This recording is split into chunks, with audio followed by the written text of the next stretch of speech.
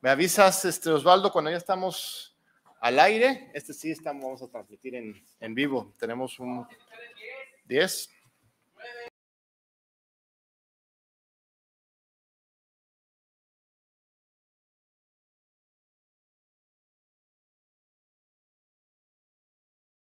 Buenas tardes, un privilegio recibirlos aquí en el auditorio Jorge Carpizo de la Coordinación de Humanidades.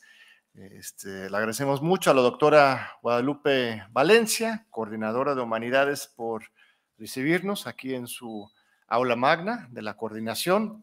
Eh, ella se disculpa, está ahorita en un vuelo, creo que a Chiapas, a una reunión importante de la coordinación. Este, pero aquí estamos con muchísimo gusto con todos ustedes. Un saludo a nuestro público este, virtual, por aire. Este, desde la pandemia aprendemos, eh, desde antes lo hacemos, pero ahora ya con más este, conciencia.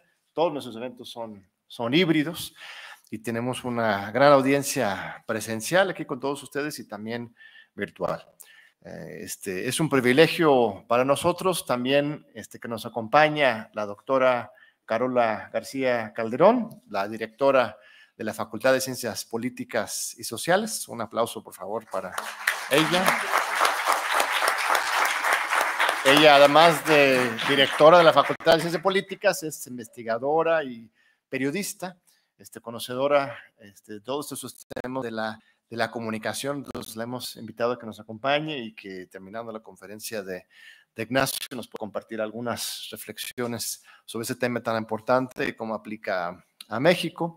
Ustedes saben que el programa universitario de estudios de democracia, justicia y sociedad es un, nuevo proyecto pequeño, pero grande de corazón y lleno de mucha vitalidad, que sueña con generar verdaderos procesos democráticos en México, en el mundo. Eh, vamos a cumplir, bueno, ya cumplimos cuatro años, este, el pasado 21 de marzo de 2023. Y les quiero agradecer muchísimo a, pues, Adrián Escamilla y Rebeca Ballesteros en particular, nuestro secretario académico y secretario técnico. No voy a nombrar a todos ustedes, saben quiénes son y saben lo bello que es el trabajo que ustedes hacen, que hacemos todos en el PUEDS. Este, casi todos son jóvenes, investigadores, investigadoras, estudiantes que están haciendo una cantidad de iniciativas fantásticas. Este, todas las semanas tenemos nuevos lanzamientos, conferencias, y este, y este evento es, es uno más y, muy importante para nuestro programa universitario. Es un privilegio para nosotros recibir aquí al, doctor Ignacio Ramonet, ya lo conocen, la de ustedes, son, pero de todas formas vamos a leer su breve semblanza. Él es periodista, especialista en geopolítica y estrategia internacional, doctor en semiología e historia de la cultura por la École de Haute Études en Sciences Sociales de París, catedrático emérito de Teoría de la Comunicación en la Universidad Denis Diderot, París 7, es doctor honoris causa de la Universidad de Santiago de Compostela, de la Universidad Nacional de Córdoba, de la Universidad Nacional de Rosario, de la Universidad de La Habana y de la Universidad de Santo Domingo. Ha sido distinguido con múltiples reconocimientos internacionales por su trayectoria académica, científica, política y cultural, entre los que destacan los premios de periodismo Rodolfo Walsh de Argentina y Félix El Musa de Cuba. Su obra comprende más de 30 libros y cientos de artículos académicos traducidos a más de 10 idiomas. Destacan los libros 100 horas con Fidel, La crisis del siglo, Hugo Chávez, Mi primera vida y La era del conspiracionismo, Trump, el culto a la mentira y el asalto al Capitolio, que aquí está, este, gracias aquí a nuestros amigos y colegas de siglo XXI editores, aquí está José María Castro, también un aplauso para, para él, también editor muy generoso de muchas obras del, del PUEDS, de la UNAM, Aquí afuera lo pueden conseguir, es una obra magnífica. eh, este, que vale la pena leer, como todas las obras de, don Ignacio. Este, es director, fue director de la publicación francesa Le Monde Diplomatique, un referente del periodismo crítico, riguroso, y es uno de los grandes expertos en teoría de la comunicación que ha estudiado la relación del poder y los medios de comunicación, un tema que casi no nos compete en México, ¿verdad? Casi los medios aquí todos son muy democráticos. Entonces, este, Va a hablar, supongo, sobre periodismo, pero el marco general de su eh, intervención, él escogió hablar de geopolítica. Él nos propuso este título muy sugerente que seguro nos va a dejar a todos pensando. El mundo en 2023, anatomía de una policrisis. Así que, sin más, un aplauso y muchas gracias, querido Ignacio.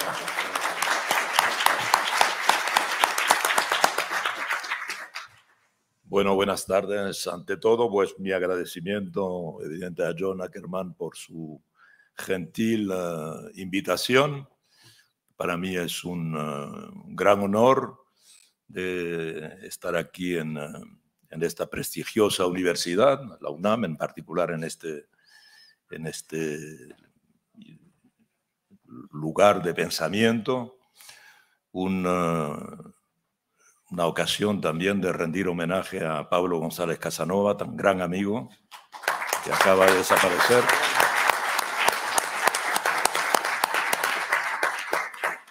Que durante tanto tiempo fue uno de los espíritus más luminosos, más brillantes, con sus aportes para entender la sociología, el pensamiento político latinoamericano. Sí, mi, la intención efectivamente es eh, evidentemente es una conferencia improvisada, no tengo ningún papel, eh, no voy a leer un texto, es eh, una reflexión eh, así, digamos, entre amigos y amigas. la idea, yo lo expresaba y nos reíamos el otro día porque me dijeron, pero ¿de qué vas a hablar? Y yo dije algo así como, la idea es que si llegase un marciano aquí al planeta, y preguntara al primer terráqueo que encontrase, ¿qué está pasando aquí en el mundo? Bueno, pues la, respuesta que le propondríamos es lo que yo quisiera hacer aquí esta tarde en este ejercicio de, digamos, de, improvisación reflexiva con ustedes. Eh, el mundo esencialmente hoy se caracteriza por una serie de traumatismos, y principalmente, evidentemente, por dos traumatismos centrales, podríamos llamar dos seísmos o sismos, como dicen aquí, eh, fundamentales. Eh, primero la COVID, evidentemente, no podemos, no podemos cerrar el capítulo COVID. Afortunadamente estamos saliendo de la COVID, pero la COVID, como ustedes saben, ha dejado un rastro de sufrimiento colosal, inaudito. Eh, actualmente se estima que ha habido nueve millones de muertos, nueve millones de muertos, y más de mil millones de personas afectadas que han estado enfermas de la COVID. Evidentemente, un traumatismo colectivo a escala de la humanidad, que provoca nueve millones de muertos en dos años y mil millones de personas enfermas, no es algo que no vaya a dejar un, rastro importante y una huella importante en eh, nuestras eh, generaciones más jóvenes en particular y, en el planeta también. La no, contrariamente a lo que se ha afirmado aquí o allá, eh, el mundo nunca conoció en ningún momento una pandemia del mismo tipo. No hablo evidentemente de la naturaleza del virus, que era nuevo por definición, pero digamos, aunque ha habido en eh, muchos periodos anteriores, ha habido epidemias, evidentemente, eh, y, quizá pandemias, pero en realidad la palabra pandemia, es decir, una epidemia que afecta a la humanidad, eh, solo se ha producido la COVID. Por un factor, que es el factor tiempo. Eh, digamos, después de la Primera Guerra Mundial hubo una epidemia que también se extendió a la humanidad entera, al planeta entero, que fue la gripe española, que no tenía nada de española, que era una gripe traída por los soldados americanos eh, que vinieron a partir de 1917 a intervenir en la Primera Guerra Mundial, pero como había censura en todos los países europeos implicados en la guerra, eh, la única prensa que habló de eh, esa enfermedad que empezó a, desarrollarse, sobre todo en el último año de la guerra, de 1917-1918, eh, se dijo la gripe de la que habla la prensa española, evidentemente, y por eso se dijo gripe española. Pero en fin, la gripe española se estima que mató más personas que, la propia, que el propio conflicto. Pero no hubo una conciencia de esa epidemia.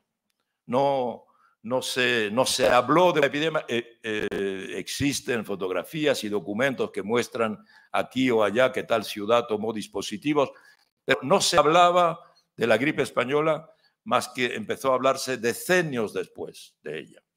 Anteriormente, a lo largo del siglo XIX, ha habido epidemias de cólera, en particular, bastantes, pero eh, también de manera parcial.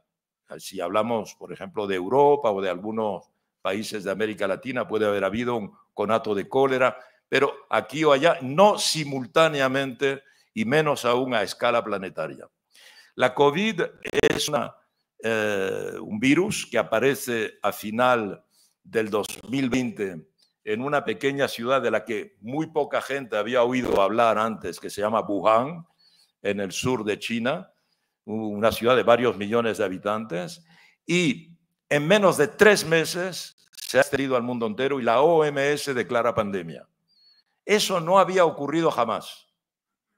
Que en tres meses un planeta de 7.500 millones de habitantes se vea afectado y se ve afectado con esta característica también de que de repente eh, los países eh, tuvieron, los, gobiernos eh, se dieron cuenta de que nadie estaba preparado para enfrentar este tipo de traumatismo o de crisis.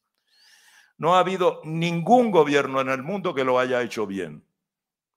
Unos lo han hecho un poco mejor, otros lo han hecho un poco peor, pero nadie lo ha hecho perfectamente bien.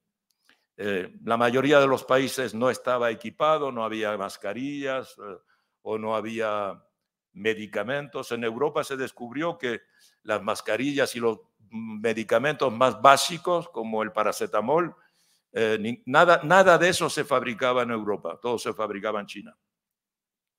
Y también, evidentemente, que cuando hubo que empezar a tratar a los enfermos más graves, como con, necesidad de respiradores, eh, ningún país estaba equipado con suficientes respiradores, ni siquiera con suficientes hospitales.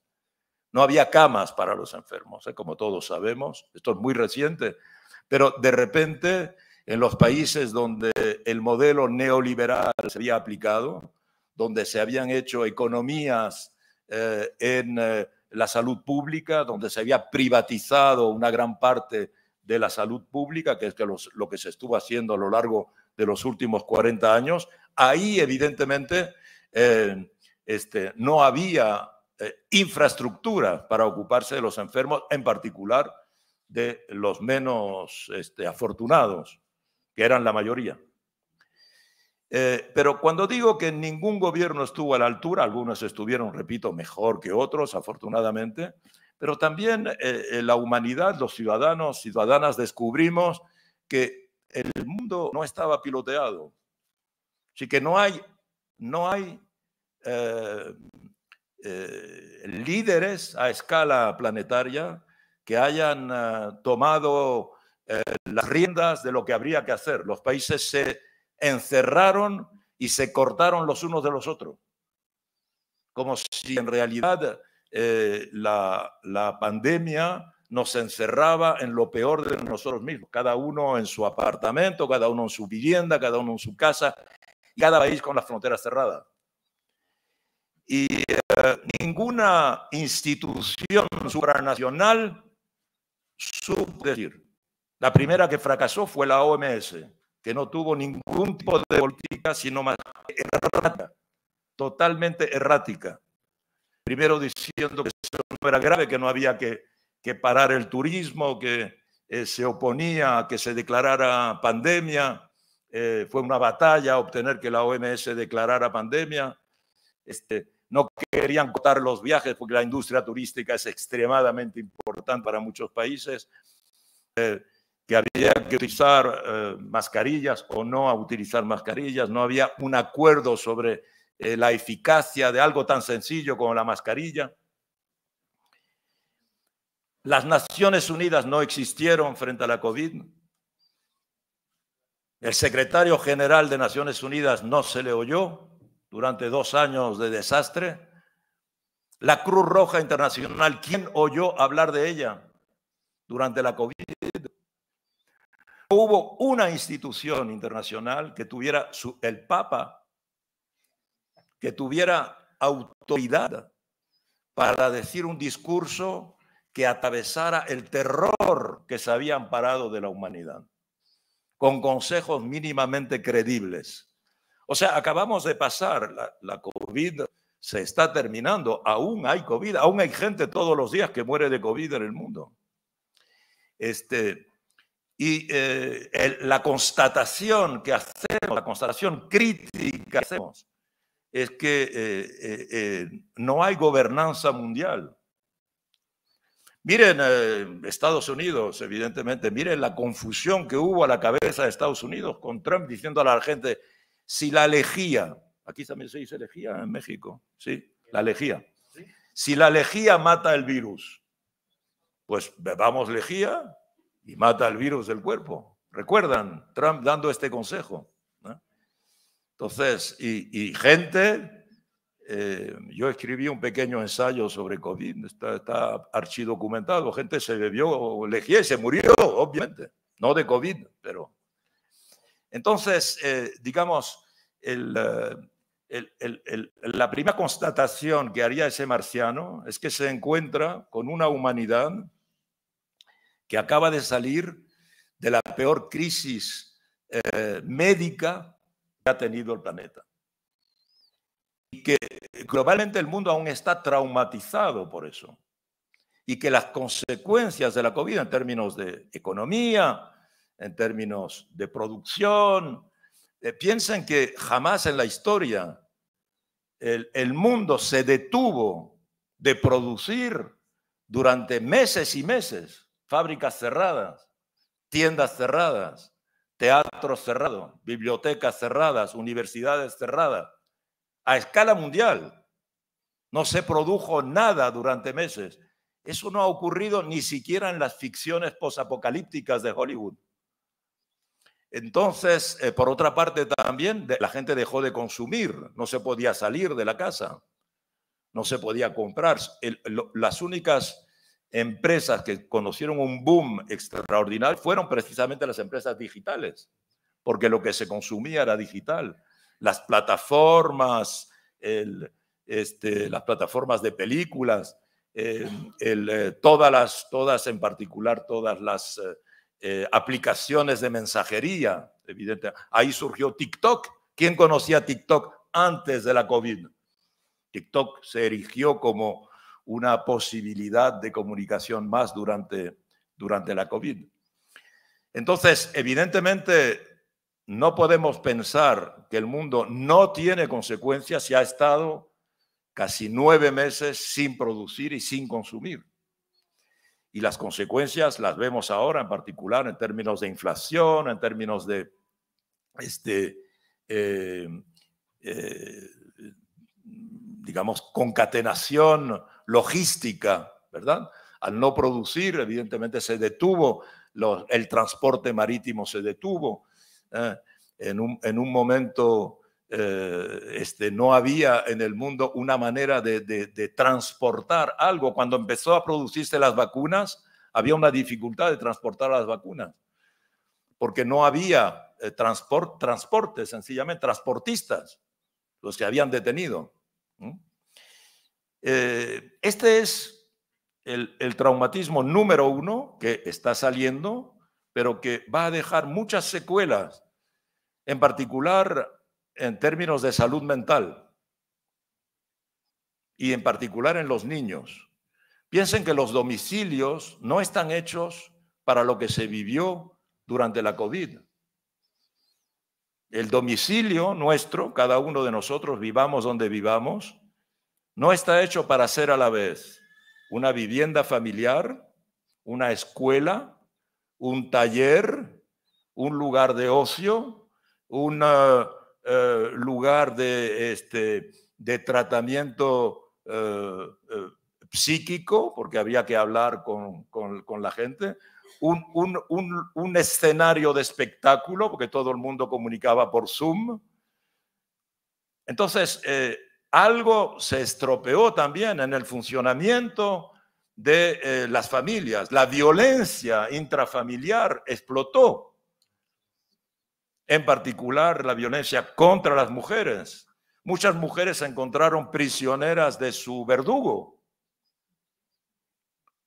y cohabitando durante meses con el verdugo. Los niños igual. La exasperación de los adultos se tradujo por un maltrato de muchos niños y niñas. Entonces, eh, todo esto lo vamos a estar viendo en los años venideros, cómo eh, algo que es una crisis médica tiene un número considerable de consecuencias en muchos aspectos de la vida privada, individual y de la vida colectiva y de la vida social. Pero apenas estábamos saliendo de la COVID cuando se produce el segundo sismo central, que es la guerra de Ucrania. Evidentemente el mundo no necesitaba para nada una guerra de esa naturaleza. Ustedes dirán que el mundo nunca necesita una guerra y es verdad. Pero sobre todo una guerra de esta dimensión. La guerra de Ucrania es la primera gran guerra desde prácticamente la guerra de Corea, que se terminó en 1954. O sea, hace 70 años que no ha habido una guerra de esta dimensión. Eh, ¿Por qué? Porque si bien ha habido guerras prácticamente todos los años desde 1954, las guerras no tenían esta característica. La característica de las guerras en los últimos 70 años son guerras que oponen o bien un Estado o una coalición eh, muy superior a un Estado del sur la guerra de Vietnam en particular, o la guerra de Camboya, ¿ah? o la guerra de Irak, o la guerra del Golfo, o oponen unas fuerzas armadas de un Estado contra una organización no estatal armada, que son lo que llamamos las guerrillas, de diversos tipos. Una organización no estatal armada el que pueden ser eh, el islamismo armado, como hemos conocido estos últimos años en eh, Oriente Próximo, o otras organizaciones armadas que pueden, que pueden existir en, en África, como existieron en los años 60 en, en América Latina, hasta el punto de que los ejércitos de los grandes países este, con presupuesto militar considerable eh, eh, están adaptados desde hace decenios no para combatir un Estado, sino para combatir una fuerza militar eh, de una organización no estatal. Es decir, una, una organización que utiliza las técnicas de la guerrilla, golpear y huir, morder y escapar. La guerra de Ucrania es la primera vez que dos estados uno de ellos siendo una de las primeras potencias militares del mundo, enfrenta a otro Estado considerable, Ucrania es un país de más de 40 millones de habitantes, además apoyado por la logística, la armamentística, eh, la eh, teoría militar de la alianza militar más poderosa del planeta, que es la OTAN, con Estados Unidos a su cabeza. Entonces, es una guerra de gran envergadura, que paradójicamente tiene lugar en los mismos escenarios donde tuvieron lugar algunas de las batallas más importantes de la Segunda Guerra Mundial. Por eso las imágenes de la guerra de Ucrania, en particular después del 24 de febrero del año pasado, que fue cuando empezó, nos impactaron tanto, porque aquello parecía eh, las imágenes que hemos visto sobre todo en las películas de la Segunda Guerra Mundial, con tanques, con aviación, con bombardeos, con casas destruidas, con militares en, eh, en trincheras evidentemente, y el paisaje de, esos territorios. Ahora, evidentemente, y esto tiene muchas consecuencias. La guerra de Ucrania, eh, por otra parte, es una guerra que militarmente eh, presenta algunos aspectos muy particulares sobre los cuales no siempre se reflexiona.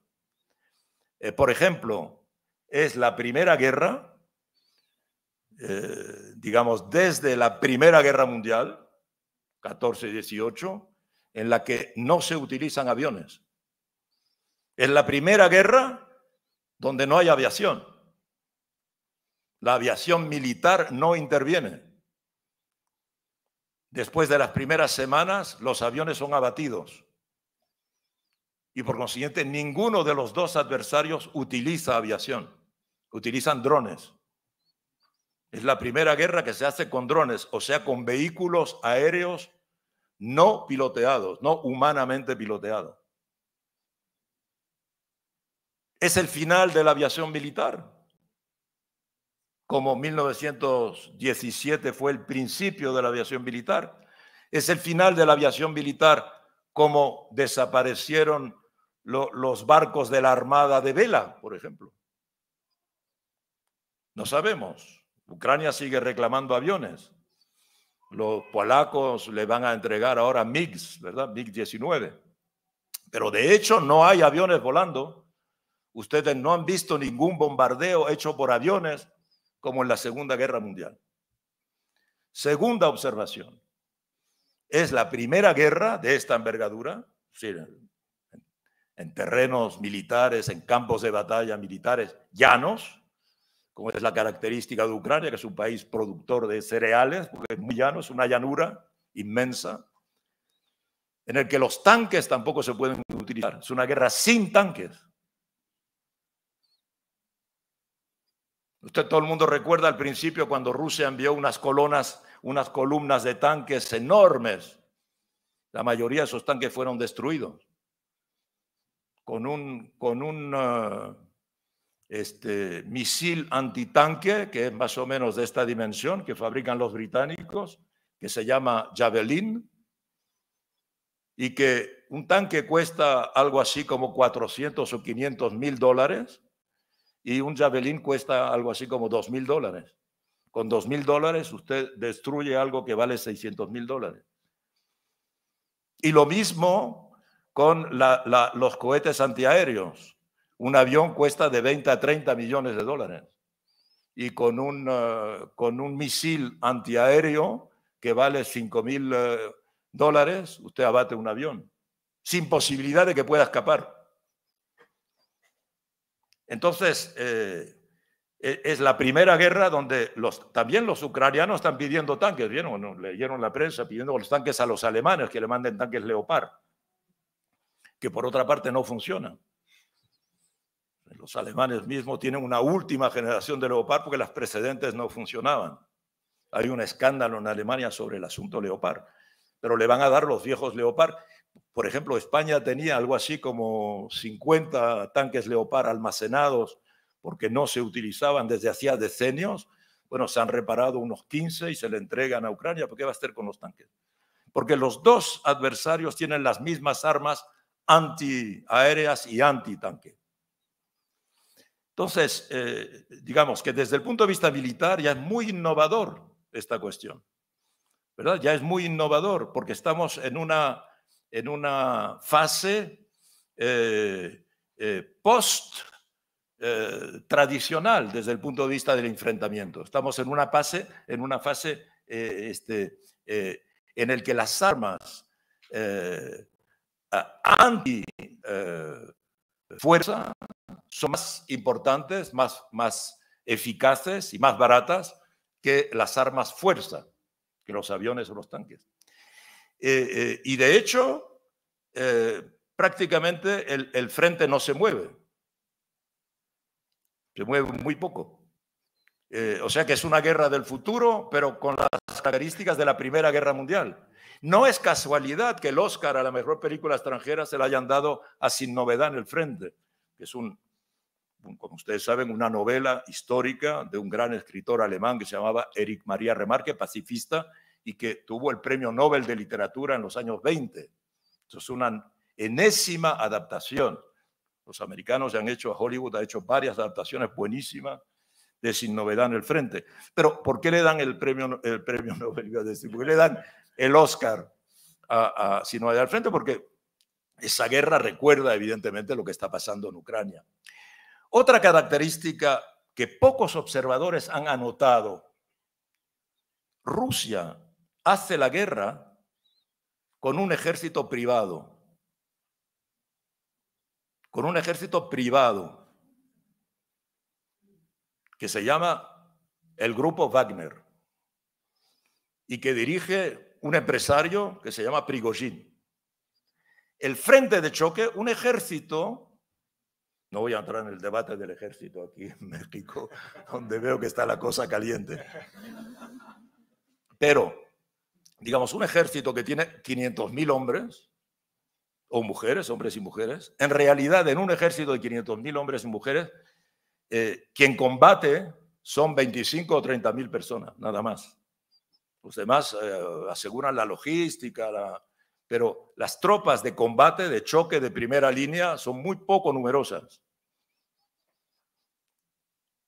El ejército ruso, que tiene sus características, eh, la, fuerza de choque de primera línea ¿ah? es el grupo Wagner, totalmente privatizado, que además combate por un botín. Lo que conquista como territorio es para la empresa. Si hay minas en el territorio, la empresa las explota. Rusia, ex potencia socialista soviética. O sea, más privatizado que el campo occidental. Eso para que digamos que las cosas no siempre están tan claras como pensamos. Y esta privatización de la guerra, evidentemente es una característica muy alarmante. Ustedes han visto que esa empresa compra y recluta en las cárceles de Rusia, prometiendo tal o cual este, recompensa. Hay un acuerdo con el Estado, ¿verdad? Pero no sabemos exactamente cómo. En fin, lo que les quiero decir es que esa guerra, eh, que tiene características militares muy originales que uno no lee en la prensa, esto que estoy diciendo, no lo lee uno todos los días, pero además la guerra de Ucrania evidentemente viene a modificar eh, la geografía geopolítica del mundo. Es la constatación de otra de las características del mundo de hoy, que la globalización se terminó. Cuando yo oigo aún a dirigentes, líderes que atacan a la globalización, muy bien, pero es un cadáver la globalización. el neoliberalismo se terminó. Que aún tenga secuelas, evidentemente que sí. Que fue terrorífico, obviamente, pero se terminó. El capitalismo hoy está en busca, lo que tenemos que preguntarnos es, ¿cuál va a ser la teoría nueva que va a aplicar el capitalismo? Pues no va, no va a dejar de explotar, de explotar a los trabajadores, de explotar a la naturaleza, de explotar a las sociedades pero ya no con las reglas del neoliberalismo, porque fracasaron en 2008. Y ya las sociedades no soportan más, digamos, el, modelo de explotación total y totalitario que eh, implementó el neoliberalismo. Pero la globalización suponía, evidentemente, una especie de pacificación del mundo. ¿Ustedes recuerdan cuál era la organización internacional que dirigía la globalización? Contra la cual se sublevaban los zapatistas, Seattle, ¿no recuerdan las manifestaciones en Seattle contra precisamente la privatización de todo lo que se había denunciado? Era una organización que se llamaba la Organización Mundial del Comercio, la OMC. ¿Quién ha oído hablar en los últimos meses de la OMC? En los últimos años, ¿quién ha oído hablar de la OMC? ¿Quién dirige la OMC? ¿Dónde ha habido una manifestación de estudiantes de izquierda contra la OMC? Ha desaparecido. La OMC no tiene ningún rol. El último país que lucha porque la globalización se mantenga, ¿quién es? ¿Estados Unidos? No, China. El último que defiende la globalización es Xi Jinping. Trump es antiglobalización, evidentemente. Era antiglobalización. Era antineoliberal. Su enemigo principal era Wall Street.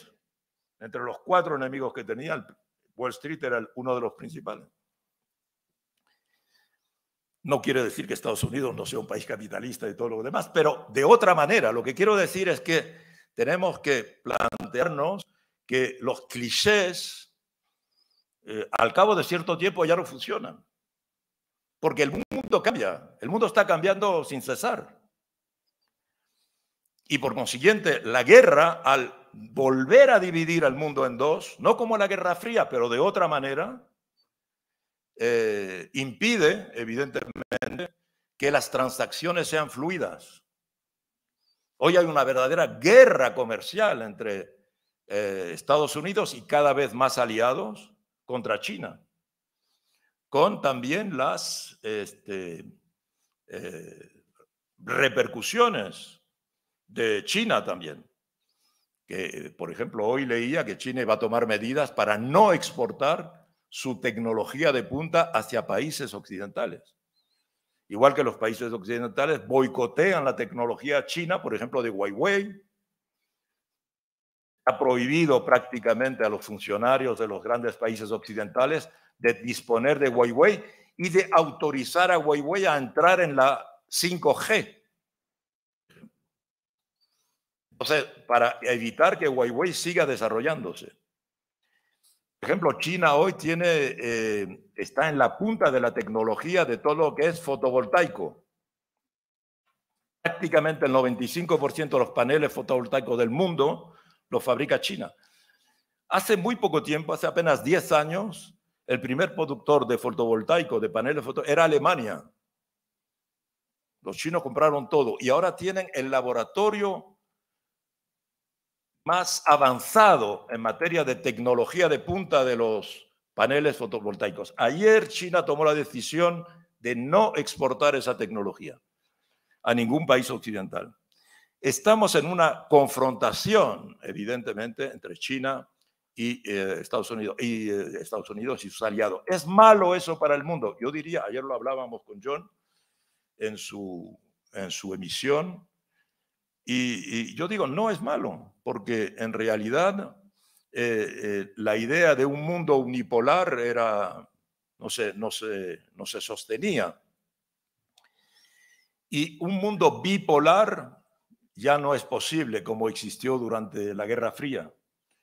Hoy hay una oportunidad de crear un mundo multipolar, pluripolar, en el que América Latina debe tener un rol fundamental, con una alianza que es posible cada vez más entre, primero, los tres gigantes latinoamericanos, México, Brasil, Argentina, y luego piensen que hoy las seis economías más desarrolladas de América Latina están gobernadas por la izquierda. No solo estos tres países que acabo de citar, sino Colombia, ¿verdad? Venezuela, Chile, ¿eh? además de los otros.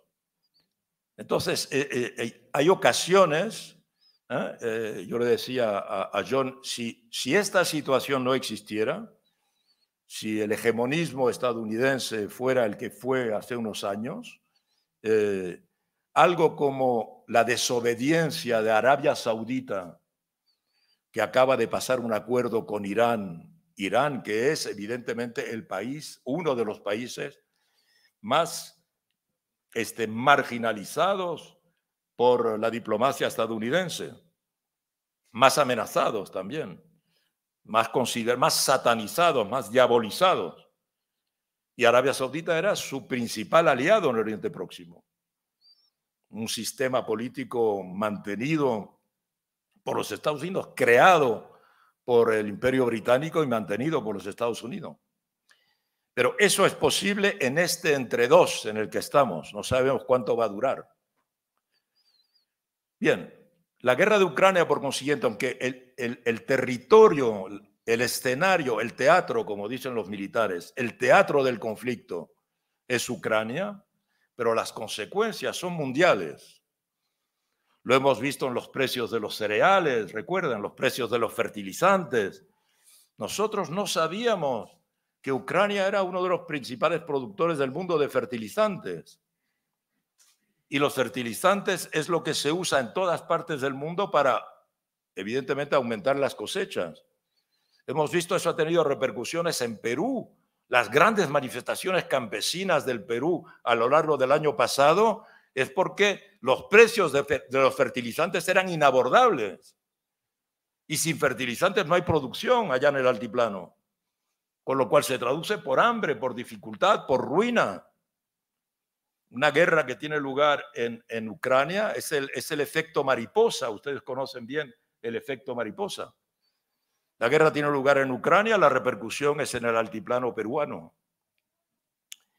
Entonces, eh, eh, hay estas consideraciones, pero en el mundo no hay solo estos dos sismos fundamentales que eh, afectan al mundo. Diría uno de ellos, lo acabo de evocar, es que estamos viviendo el fin de la globalización y que eh, también el capitalismo está en busca de un modelo. Biden, como vieron ustedes en su programa, apostó por un modelo neokeynesiano, la reindustrialización de Estados Unidos, el lanzamiento de un programa de decenas de miles de millones de dólares de infraestructuras, de construcción de infraestructuras, un programa de repatriación de las fábricas que se habían ido en busca de mano de obra barata en la época neoliberal, eh, un programa de ayudas a los eh, afectados por, por la COVID, una idea de que los salarios en Estados Unidos, en particular en la, esta neoindustrialización, sean salarios decentes, decentes, como los que existían en la época en la que se hablaba del sueño americano, donde un trabajador de Ford o de General Motors vivía bien, podía comprarse un automóvil, pagar un crédito para tener una casita con un barbecue. El sueño americano de los años 50, de los años 60, eso desapareció. Hoy ni aún trabajando, ni teniendo dos empleos se puede vivir. Que es una de las consecuencias, esta mañana lo decíamos en seminario, la destrucción de las clases medias que ha provocado el neoliberalismo. 40 años de neoliberalismo ha hecho desaparecer las clases medias en Europa, en Estados Unidos, en los países desarrollados y obviamente en los islotes desarrollados de los países del sur, donde se ha aplicado la fórmula neoliberal con la misma violencia, cuando ya la mano de obra era barata. Evidentemente, entonces, eh, eh, el, traumatismo eh, del mundo en el que estamos es muy específico a este momento, es lo que quiero decir. No siempre podemos aplicar fórmulas que han funcionado en otro momento a la situación sociológica de hoy. Pero a eso hay que añadirle, yo diría, tres traumatismos importantes que vive el planeta. Estoy hablando de todo el planeta, ¿verdad? Uno es obviamente el cambio climático. los, eh, digamos, las personas que nos ha tocado vivir en el planeta en este momento, sabemos que el problema principal que tiene el mundo se llama cambio climático. Porque esto ya no es una teoría de cuatro universitarios más o menos utópicos o utopistas, ¿ah? eh, sino que cada uno de nosotros, cada una de nosotras, eh, hemos constatado una sequía excepcional, una tempestad excepcional, unas inundaciones excepcionales, unas tempestades de nieve excepcionales, unos ciclones excepcionales, como no se habían producido de memoria de la humanidad. Se está derritiendo Groenlandia, se está derritiendo la Antártida, están desapareciendo los glaciares. Miren, eh, Francia tiene una de las industrias de producción de electricidad nuclear más densa del mundo. El verano pasado fue el verano más caluroso de la historia de Francia. La mayoría de las centrales nucleares francesas, que producen bastante electricidad para que Francia sea autónoma en electricidad, eh, eh, se encuentran a orillas de los ríos. En Francia hay grandes ríos, es un país donde llueve normalmente y las centrales nucleares tienen que ser enfriadas, porque la electricidad se produce con el calor de, eh, digamos, de la reacción nuclear. Pero ese calor no debe ser suficientemente fuerte, porque si es fuerte, se produce lo que, lo que se llama el síndrome chino. Se llama, había una película, no sé si recuerdan ustedes, se llamaba el síndrome chino que fue el accidente, el primer accidente nuclear del mundo tuvo lugar en Estados Unidos, en Three Miles Island. Y eh, es cuando el, el, reactor nuclear se calienta, se calienta, se calienta y alcanza una temperatura semejante a la del Sol. Por consiguiente, lo derrite todo, todo. Todo lo que hay debajo de ella se derrite. Y entonces ese, ese, esa masa llega hasta el centro de la Tierra y atraviesa la Tierra para salir del otro lado, dice la teoría. El otro lado China, por eso se llama el síndrome chino. Entonces hay que enfriar. Bueno, es verano pasado, se ríe John, es verdad.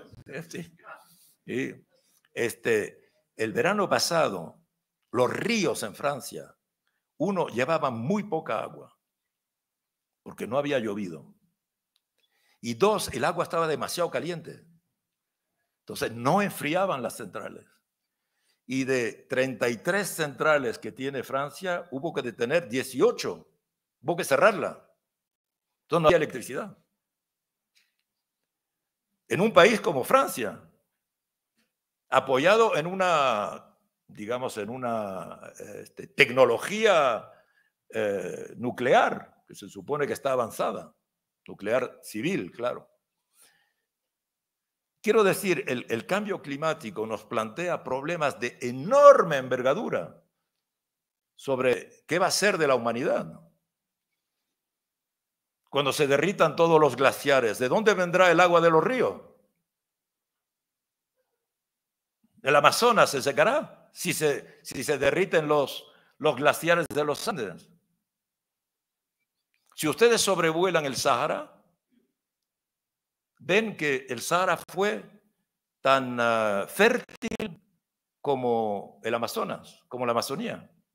Lo que uno ve cuando pasa en avión sobre el Sahara son miles de lechos de ríos, algunos grandes como el Amazonas.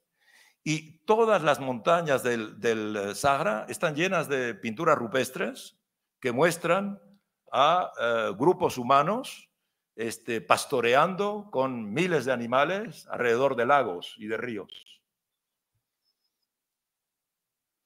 O sea, eso ya ocurrió. Y evidentemente el cambio climático no lo puede detener un país, por grande que sea. Ni Estados Unidos ni China pueden detener. Es, es una acción por definición colectiva, humana. Pero no hay acuerdo. Ya ven, las COP cuando tienen lugar, este año tuvo lugar en Egipto. Entonces, eh, evidentemente, este, esto nos toca a cada uno de nosotros. A la vez, en nuestra manera de consumir, no cabe duda que el modelo capitalista tiene una responsabilidad fundamental, más allá, más allá del funcionamiento, digamos, de la naturaleza, que a veces no conocemos bien, pero el, modelo depredador, superconsumidor, destructor eh, del capitalismo eh, ha, añadido eh, elementos de producción de CO2, de producción de consumo de energía carbonatada. Hay que descarbonatar el mundo. Hay que ir descarbonatándolo. Y cuanto más se tarde, peor. Porque evidentemente las, digamos, los desafíos se realizarán. Otro, otro traumatismo que vive el mundo colectivamente, y México está muy bien colocado para saber de qué estamos hablando, es el fenómeno de las migraciones. Nunca en la historia de la humanidad ha habido tantos millones de personas en movimiento como actualmente. Son eh, migraciones de tipo bíblico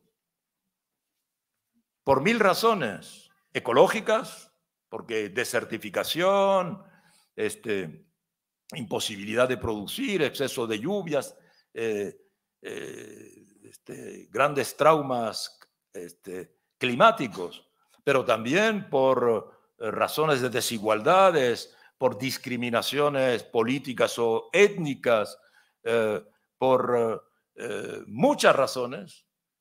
En el mundo se han puesto en marcha millones de personas, familias enteras, del sur hacia el norte en general, en general no llegan al norte, se quedan en los países del sur.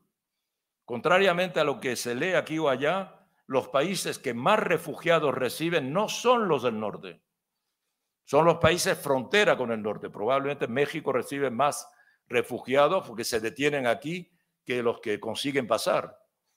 En, Europa igual, Turquía tiene más eh, este, refugiados que llegan de Afganistán, que llegan de Irán, que llegan de Siria, que llegan de África incluso, que eh, los que consiguen entrar en, en, Europa. Y esto no se va a detener, porque eh, la demografía indica que eh, el mundo va, estamos entre 7.500 millones de habitantes, vamos hacia los 10.000 millones de habitantes. Con mucho desequilibrio. Todo lo que está al norte está envejeciendo. Europa está envejeciendo a alta velocidad. Estados Unidos está envejeciendo. China está envejeciendo muy rápidamente por la política del hijo único hecho durante decenios.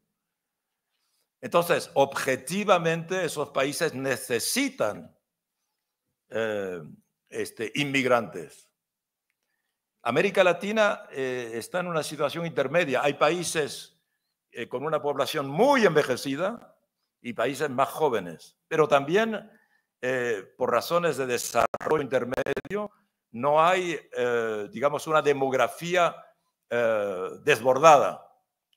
Globalmente los nacimientos están controlados. No es el caso de África, que será el continente más poblado y más productor de personas en los próximos 30 o 40 años. Pero claro, evidentemente, si hoy ya, con lo poco de migración que hay, digo poco con respecto a lo que va a venir, si hoy ya la mayoría de los conflictos en muchos países desarrollados tienen directa o indirectamente que ver con la emigración, ¿qué pasará cuando África empiece a exportar 10 o 20 o 30 veces más población que la que exporta ya actualmente? ¿Qué tipo de conflictos raciales se producirán? cuando ya la extrema derecha prácticamente está presente en todos los países europeos. En muchos ya está en el poder. En otros está muy presente en las asambleas. En Europa, miren en Estados Unidos, el trampismo es un extremismo de derecha, no es otra cosa. Y un extremismo de derecha racista, obviamente, para utilizar un término este, claro. Entonces, las migraciones eh, anuncian evidentemente cambios sociales y societales de gran envergadura. El, movimiento, por ejemplo, de migración de África eh, no, no, no, solo es hacia Europa, porque el norte de África, ¿verdad? Que es de lengua árabe, que pertenece al mundo árabe, también va a recibir una parte muy importante de esta migración. Digamos que esta es, esta es una, una, una de las crisis por venir eh, que deja suponer que eh, puede, los conflictos al interior de las sociedades pueden agravarse. Si hoy ya, por ejemplo, esta mañana en el seminario hablábamos de una posibilidad, o en todo caso algunos politólogos hablan de la posibilidad de que en Estados Unidos haya una segunda guerra civil, imagínense qué pasará cuando estas poblaciones venidas de otros países, con otras culturas, con otras lenguas, con otras tradiciones, con otros hábitos, con otras costumbres, eh, empiecen a instalarse en los países. Si no hay un trabajo de explicación eh, de la necesidad, digamos, de convivir en un planeta que se va a achicar por razones climáticas, donde van a aumentar los desiertos, los, las zonas áridas. Y por último, otro traumatismo eh, que es como más complejo, que es lo que yo llamo los... Eh, los efectos, los efectos indeseados o desconocidos de las nuevas tecnologías. Todos nosotros usamos tecnologías y a veces las multiplicamos. Tenemos un iPad, tenemos un laptop, tenemos este, estamos metidos en las redes.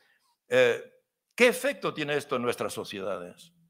¿Qué va a pasar ahora que llega la inteligencia artificial y se está democratizando, para decirlo con una palabra política? ¿Qué va a pasar? Si ni siquiera hemos digerido esto. Porque Internet se inventó hace exactamente 40 años. Así como no, no, menos que el neoliberalismo. Se inventó en el 89, cuando cayó el muro. El Internet este que conocemos nosotros, ¿verdad? No el Internet de los universitarios. Y en este lapso de tiempo, 33, 34, 34 años, en estos 34 años, las cosas han ido demasiado rápidas. Es imposible que alguien con un cerebro normal haya asimilado todo lo que la tecnología nos ha dado a nosotros. Una persona de 50 años, o sea, una persona joven, joven, de 50 años, claro, una persona joven de 50 años, Internet llegó cuando ya casi tenía 20 años, no como a los niños de hoy, de 2, 3 años. Esa persona aprendió a escribir a máquina, a máquina. Alguien que tiene hoy 20 años ni sabe lo que es una máquina de escribir. Porque Internet empezó a generalizarse por el email. El email fue lo que primero se generalizó a partir del 94, 95. Pero hoy hemos recibido tanta capacidad con las redes, el consumo, las imágenes. El, no podemos vivir sin la pantalla. Todo el mundo está con una pantalla. Ha ido demasiado rápido. No sabemos cohabitar con esas tecnologías. El comportamiento individual ha cambiado. Tenemos dos cerebros ahora, el nuestro y este que está aquí. ¿Quién hoy día puede vivir sin Wikipedia, por ejemplo? Ya no hay ninguna discusión posible. Espera, párate, vamos a preguntarle a Wikipedia, tranquilo. Árbitro de paz, ¿verdad?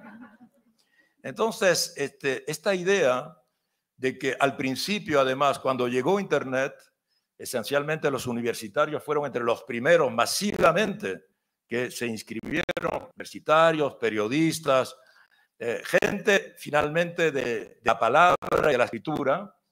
Internet era, como dice Obama, una ventana abierta y, que facilitaba el acceso a, océanos de saber y de conocimiento. que antes había que tener enciclopedias en sus casas, prácticamente una habitación de la casa estaba llena de diccionarios, de enciclopedias. Para consultar algo uno perdía un tiempo infinito, ir a buscar la página, el autor, de qué se trata, leer. Entonces todo pareció muy bonito, todo era gratuito además. Tuvimos acceso a los periódicos gratuitos, pero hoy todo se ha complicado. Hoy, hoy tenemos un acceso mucho más doloroso. No sabemos cuando llegamos a una información si es verdadera, si es falsa. Muy poca gente puede distinguir una verdad de una mentira. Y cada vez más difícil. Esta mañana yo citaba las imágenes de Trump detenido que ustedes han visto, ¿verdad? ¿Quién, ¿Quién puede detectar la falsedad en esas imágenes? Muy difícil. Entonces, por consiguiente, e, entramos en un universo en el que, como ahora se dice con la inteligencia artificial, desaparecerá el ser humano. Nosotros pensábamos que en última instancia siempre seríamos los únicos capaces de pensar en este, en este mundo de la naturaleza animal y vegetal. Pero ahora las máquinas son capaces de pensar tan bien o mejor que nosotros en muchos aspectos. Incluso en el aspecto de la creatividad, que también parecía como ultra reservado al ser humano. Ya sabíamos que las máquinas eran más inteligentes que nosotros, porque ganan los partidos de ajedrez al mejor campeón de ajedrez. Pero es que ahora son capaces de escribir mejor que Cervantes, pintar mejor que Picasso, ¿Qué nos queda? Con esta nota optimista termino. Gracias. Mucho más largo. No, perfecto. Muchas gracias. Yo le contesté que el amor todavía nos queda al, humano, ¿no? La lucha, la lucha, el amor. Muchas gracias, querido Ignacio. Este, la palabra a la doctora Carla García, por favor. Muchas gracias. Sí, sí, muchas gracias. Es un gusto estar aquí con Ignacio Ramonet. Muchas gracias por la invitación, Johnny, al programa universitario de democracia y justicia social. Yo creo que no voy a irme muy a fondo para no extenderme más, pero eh, yo creo que lo que nos ha dicho aquí Ignacio, pues nos lleva a reflexionar sobre muy diversos aspectos. A partir de estos seísmos que decía, pues evidentemente el COVID nos cambió la vida y nos cambió la vida cotidiana y estamos viviendo hoy en día el saldo de lo que dejó el COVID, que todavía no acaba por irse. Si lo vemos aquí, ya tenemos los mismos niveles de mortalidad y demás, pero no podemos decir que estamos libres del COVID. No solo tuvo una repercusión en la mortandad, sino también en la economía, en la salud mental y en muchos otros aspectos que han llevado a que el mundo se moviera y se cambiara. Nos dice aquí Ramonet la geopolítica, el cambio climático. Y sí, eh, la pandemia no solo fue una crisis sanitaria. Hablamos mucho en América Latina de la pandemia. Ya teníamos crisis, teníamos desigualdades, teníamos situaciones de por sí muy difíciles que se agudizaron con la pandemia. Se ampliaron las desigualdades, muchos perdieron no solo la vida, perdieron el empleo, eh, perdieron la estabilidad mental. Y bueno, eh, evidentemente hay un costo en todo eso, como nos lo deja ver aquí Ignacio Ramonet. Yo le agregaría, y ya hablando de, las, de esta recomposición del mundo, pues ha habido muchas cosas que se han movido y están intentando acomodarse de otra manera. No solamente lo que se refiere a la guerra de Ucrania, tenemos ya las consecuencias del cambio climático, que a lo mejor no estaban directamente conectadas con el COVID, pero tenemos ya una crisis del agua que se acerca cada vez más. Se veía como muy lejano, muy de las películas apocalípticas, que en algunos casos, si nos vamos con Mad Max, era la lucha por la gasolina, pero ahora estamos hablando de una crisis del agua. A lo mejor podemos vivir sin gasolina, pero sin agua no podemos vivir. La migración, que es efecto también de, es un efecto económico. ¿Y por qué la gente migra? Y, la guerra, además, los estados totalitarios, hay muchas razones y la gente no está migrando simplemente por buscar condiciones de vida mejores como lo hacía en otro momento, sino están huyendo de situaciones muy críticas que no solamente corresponden a inseguridad y corresponden a guerra en muchos países del mundo. Yo me detendría muchísimo en algo que el propio Ignacio Ramonet dice en otro texto, el capitalismo digital. Si estamos hablando de las tecnologías, y las tecnologías fueron un elemento que cobró mayor fuerza, ya lo veíamos, eh, hablábamos de las tecnologías de la educación que algún día llegarían con las dimensiones con que se manifestaron durante la pandemia, pero una tecnología donde tenemos dos factores, los medios, todos los medios, las nuevas tecnologías, los dispositivos tecnológicos, Internet y los miedos. Y los miedos se agudizaron y se agudizaron como sucede en situaciones de incertidumbre.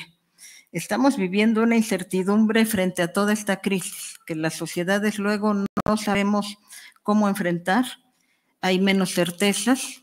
Eh, en otras generaciones la gente se movía con que a cierta edad tenía asegurada la vejez, tenía aseguradas ciertas condiciones económicas, había tejido más o menos el futuro de los hijos y ahora los jóvenes se enfrentan a una incertidumbre enorme y a una falta de certezas. No solamente hablo de certezas laborales. también en el COVID lo vimos. Este confinamiento, este encierro, pues provoca que todo mundo quiera salir, que queramos vivir, porque vivimos en un confinamiento donde los medios, la tecnología, el tener una computadora, esto de perder las diferencias entre el mundo del trabajo, el mundo del hogar, las casas convertidas en oficinas, en lugar de juegos, en todo esto que ya nos decía aquí Ignacio, pues este, se convirtieron en un asidero a la realidad, era una forma de mantener un contacto, pero también a estas consecuencias que estamos viendo aquí, la desinformación. ¿Cómo? creemos mucho de lo que nos transmiten los dispositivos electrónicos, las noticias falsas, eh, las imágenes trucadas, todo esto que hemos venido viendo en los últimos tiempos y que nos coloca ante un escenario que es muy adecuado el título de esta conferencia, porque es una policrisis, es una crisis que se compone de muchos, de muchos elementos y que están impactando en diversa y en mayor o menor medida a muchos de los ámbitos del mundo y de, y de la sociedad en que nos toca vivir.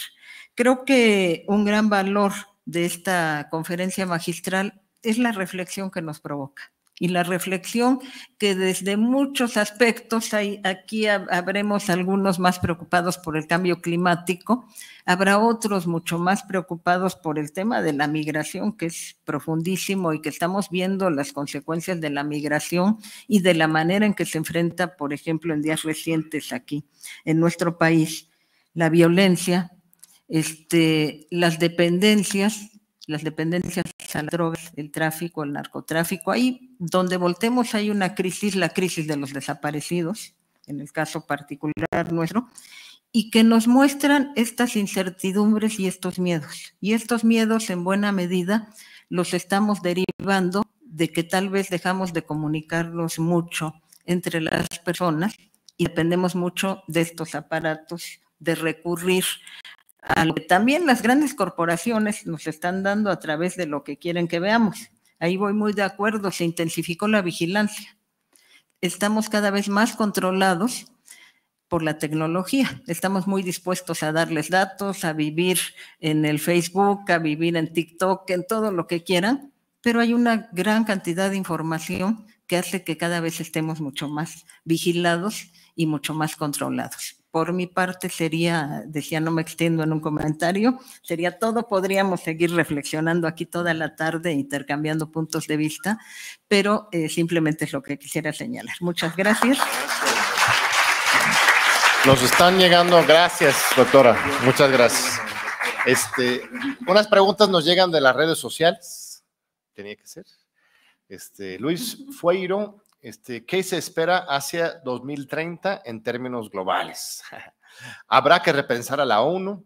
¿Qué se espera de los nacionalismos? ¿Se cumplirá con el Acuerdo de París? Este es un conjunto de preguntas de una sola persona. Otra persona, humanista, que su cuenta, dice, ¿en México ha terminado ya el neoliberalismo? Pregunta. Tess Huitzilipostli Ábalos dice, el grupo PMC Wagner se quedará como el mando gubernamental de los terrenos que ellos conquistan. Una pregunta muy específica. No sé si hay unas dos, tres preguntas aquí del, público. Tenemos micrófono de, del, público para. Muchísimas más. uh, hay muchas preguntas. Este. a ver, ¿en qué? que vayamos contestando. Pues ok, vamos contestando estas, sí. Bueno, este, sobre el grupo Wagner, bueno, habría que, habría que eh, investigar, ¿verdad? A, priori, eh, lo que tengo entendido es que ellos no se van a quedar con el control gubernamental o político de las regiones que conquistan, sino únicamente con eh, las riquezas que posean esas regiones. La idea, ellos también están en África y proponen a los gobiernos en África, Níger en particular, en las regiones del Sahel, luchar contra eh, los islamistas radicales, eh, en contra de las minas locales que puede haber, sí, pero no por el control político, no. Además, yo creo que Putin no lo permitiría. ¿Sí, qué, ¿Cuál era la, otra? Sí, en el liberalismo ya terminó en México. Ah, eso hay que preguntarlo a los mexicanos. Sí, sí, claro. Eh, por ejemplo, ¿qué pasará de aquí a 2030? ¿Verdad? El 2030, sí. sí. Bueno, el, el, el, problema es que, como lo decía antes, eh, y, y, abordar esta, esta policrisis indica bien que eh, las instituciones internacionales no están funcionando. estamos muy lejos de un gobierno global. hemos llegado a una situación totalmente este, paradójica, porque el mundo oficialmente está políticamente piloteado por la Organización de Naciones Unidas, ¿verdad? La Organización de Naciones Unidas tiene su propio piloto, que es lo que se llama el Consejo de Seguridad. Y en el seno del Consejo de Seguridad hay cinco estados que son permanentes, porque los demás, los 15 otros, son 20 en total creo, eh, se turnan, están presentes durante un año o dos años y luego van cambiando. Pero los permanentes, que son los que tienen derecho de veto, eh, los permanentes, eh, ellos se mantienen. Pero ¿quiénes son los permanentes? Bueno, pues en los permanentes está por una parte Estados Unidos, Reino Unido y Francia, y por otra parte Rusia y China y cohabitan en el seno del eh, Consejo de Seguridad dos países que están literalmente en guerra en este momento. Estados Unidos con la OTAN contra Rusia o Rusia contra la OTAN. Entonces, en este momento, en este momento el, Consejo de Seguridad está piloteado por Rusia. Entonces, eh, ¿qué decisión se puede tomar cuando a la cabeza del planeta hay países que están ellos mismos enfrentados en una guerra, aunque no sea una guerra abierta, pero que podría serlo. De la guerra de Ucrania no dijimos que en el peor de los casos puede desembocar en una guerra nuclear, evidentemente, ya se ha evocado la cuestión.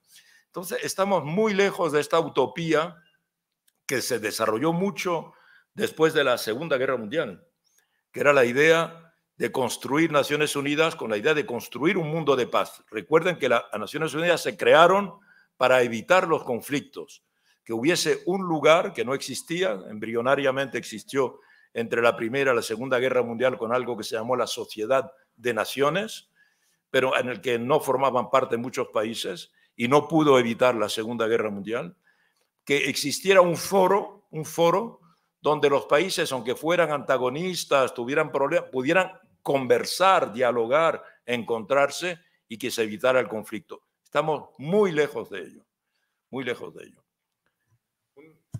Sobre el tema neoliberalismo, a partir de tu plática, es muy interesante porque lo que tú afirmaste es que el neoliberalismo pues está colapsando, desapareciendo por sí misma. No, no, no por sí misma, porque fracasó en el 2008. Y, y, la, y la crisis bancaria que tenemos en este momento, que ha alcanzado dimensiones, con la, con, sobre todo con la quiebra de Credit Suisse, y es posible que haya otras quiebras, indica bien que el poder financiero, que, era el que piloteaba la, la globalización, no funciona. Te voy a dar otro detalle que seguramente se le escapó a muchos analistas. Eh, hace unos meses, en octubre pasado, en octubre pasado, hubo una crisis en el Reino Unido. El primer ministro del Reino Unido, que se llamaba Boris Johnson, fue demitido por su propio partido, porque fue acusado de no haber respetado precisamente la austeridad que él impuso a su país durante la COVID y de organizar toda una serie de fiestas con alcohol y todo esto cuando se las prohibía al resto del país. Entonces, los conservadores, todos neoliberales, eligieron en su seno, porque tienen mayoría en, eh, las comunas, eh, eligieron a una sustituta de Boris Johnson. No sé si recuerdan. Se llamaba Liz Truss. Liz Truss. ¿Qué hizo Liz Truss? Llegó con un programa archineoliberal. Dice, una rebaja de impuestos de 600 mil millones de euros, de libras, que vale más que el euro y el dólar. Con una este, privatización de todos los sectores que aún no había privatizado la Thatcher y los demás eh, primeros ministros con eh, un aumento de la deuda del país. ¿Y qué ocurrió? Salieron los sindicatos a las calles para protestar contra el programa del Istrus. Hubo una huelga general proletaria en el Reino Unido para oponerse al programa del Istrus. No. El Banco de Inglaterra dijo, ese programa es inaceptable. Las empresas dijeron, ese programa es inaceptable. Los empresarios y los ricos dijeron, es un programa inaceptable. Y eso que suprimía los impuestos, suprimía los impuestos. O sea, el capitalismo británico rechazó el programa neoliberal de Truss. ¿Cuánto duró Truss en el poder? 45 días. la propia derecha tuvo que sacarla. O sea, el capitalismo neoliberal ya no es aceptado ni por la banca. Es una demostración. No quiere decir que haya desaparecido lo que he dicho. Lo que pasa es que ya ese modelo no entusiasma a nadie. Entonces, poner como agenda de gobierno el enterrar el neoliberalismo no es particularmente radical, porque Habría que ir más allá, habría que ir más allá, ¿no? Siempre hay que ir más allá. Muy bien, tomemos, ya tenemos micrófono por acá. Unos dos, tres preguntas. Y este, y vamos cerrando. Gracias. ¿Se escucha? ¿Se escucha? Sí. Eh, nada más quiero hacer una breve reflexión. ¿Se escucha? Sí, sí. Sí. Este, dentro de la policrisis que ampliamente nos ha explicado el expositor. Quisiera agregar un concepto que para mí es muy importante, que le llamo el proceso del colapso del capitalismo. El proceso del colapso del capitalismo, considerando que todo sistema socioeconómico tiene un nacimiento, una emergencia, una cúspide y un proceso de decreción. No estoy pensando en una revolución proletaria, eh, sino en un proceso de colapso implícito debido a un concepto que todos conocemos que se llama tasa de ganancia, un concepto en donde en un extremo todas las empresas medianas, grandes y pequeñas tienen que tener una rentabilidad, una venta para poder seguir creciendo. Y hay un concepto muy clásico que dice que el capital que no crece incesantemente, deja de ser capital, propiamente dicho, ¿no? En el otro extremo de esa tasa de ganancia está el costo de producción. El costo de producción tiene varios aspectos. Uno de ellos es el costo de las materias primas, que sería encarecido, por cierto, por la robótica, y el otro es el costo de la mano de obra. Todas las empresas están corriendo trabajadores para aumentar la tasa de ganancia. todos los trabajadores que salen de las empresas en donde había 100, que ahora hay 10 o 20, se convierten en pobreza, pobreza o miseria, que en el mundo llega a veces hasta el 80%. Entonces, esa pobreza, en lugar de solucionarle al capital su necesidad de ganancia, se la agranda, porque la pobreza no compra. La pobreza no compra. Entonces, si la pobreza no compra, el capital no tiene solución desde ese punto de vista de su necesidad de crecer incesantemente. Otra, otra solución que busca todos los grandes monopolios capitalistas es, desde luego, las guerras, como las han explicado, pero las guerras implican una venta gigantesca de armas, de todos, de todas las formas y sentidos que ya conocemos.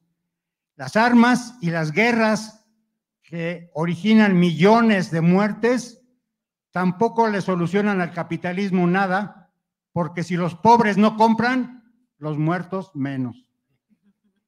Es una ironía, pero de hecho, eh, lo que quiero resaltar es un proceso de colapso en donde la guerra comercial es incesante tanto para los pequeños y medianos empresarios como los grandes monopolios industriales, ¿no? Y que se convierten en guerras, se convierten en todo tipo de lograr resacirse de esa tasa de ganancia que están perdiendo y que se les enseñó un tal Carlos, pero que ya no se, no se sabe cómo cómo reasirse de esa ganancia que han perdido.